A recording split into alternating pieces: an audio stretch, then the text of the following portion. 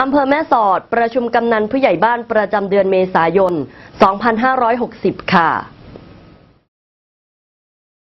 ที่ห้องประชุมกาสลอง โรงเรียนแม่สอด เขตเทศบาลนครแม่สอดอำเภอแม่สอด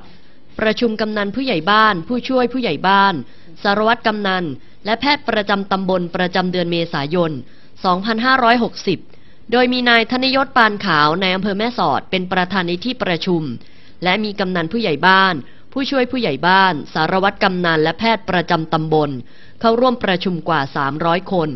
ก่อนวาระการประชุมเป็นการมอบหนังสือสำคัญ เพื่อแสดงหลักฐานการเป็นผู้ใหญ่บ้าน ผู้ช่วยผู้ใหญ่บ้านจำนวน4คน และการมอบใบประกาศเกียรติคุณผู้ใหญ่บ้าน ครบรอบวาระ 60 ปี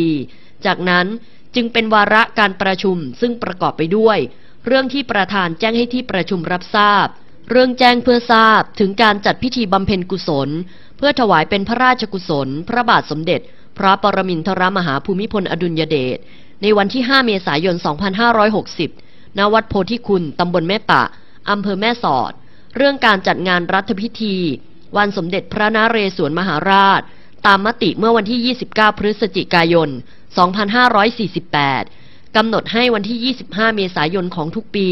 เป็นวันสวรรคต สมเด็จพระนเรศวรมหาราช โดยจังหวัดตากจะมีการจัดงานรัฐพิธีณศาลสมเด็จพระนเรศวรมหาราช เยื้องสำนักงงานเทศบาลนครแม่สอด ในวันที่ 25 เมษายน 2560 เวลา 8 นาฬิกา เรื่องการจัดงานพิธีวางพวงมาลาอนุสรณ์ผู้เสียสละจังหวัดตาก ในวันอาทิตย์ที่ 30 เมษายน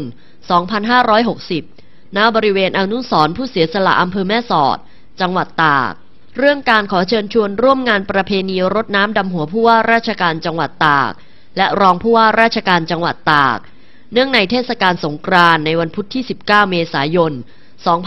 2560 ณ บริเวณลานธรรมะ ศาลสมเด็จพระเจ้าตากสินมหาราชอำเภอเมืองจังหวัดตาก เรื่องแนวทางการปรับบทลงโทษกรณี กำนันผู้ใหญ่บ้านกระทำผิดวินัยอย่างร้ายแรง ฐานทุจริตต่อหน้าที่ เรื่องสรุปผลการดำเนินงานศูนย์ดำรงธรรมอำเภอประจำเดือนมีนาคม เรื่องการจ่ายเงินช่วยเหลือราษฎรที่ได้รับผลกระทบในที่ดินราชพัสดุ เรื่องสถิติการให้บริการงานทะเบียนราษฎร งานทะเบียนทั่วไป งานบัตรประจำตัวประชาชน ประจำเดือนมีนาคม เรื่องการกำหนดเลขประจำบ้านและจัดทำทะเบียนบ้าน เรื่องมาตรการป้องกัน และการดำเนินคดีกับผู้ฝ่าฝืนจุดไฟเผาป่า และเผาในที่โล่งแจ้ง เรื่องการป้องกันและลดอุบัติเหตุทางถนนช่วงเทศกาลสงกรานต์ 2560 เรื่องการเตรียมการป้องกันและการแก้ไขปัญหาภัยแล้งประจำปี 2560 เรื่องสถานการณ์โรคติดต่อในพื้นที่อำเภอแม่สอด เรื่องโครงการลงทะเบียนเพื่อสวัสดิการแห่งรัฐปี 2560 เรื่องการเสริมสร้างความรู้ความเข้าใจ เรื่องสถานประกอบการตามพระราชบัญญัติภาพยนตร์ และวีดีทัศน์พุทธศักราช 2551 เรื่องชมรมกำนันผู้ใหญ่บ้านและเรื่องอื่น ๆ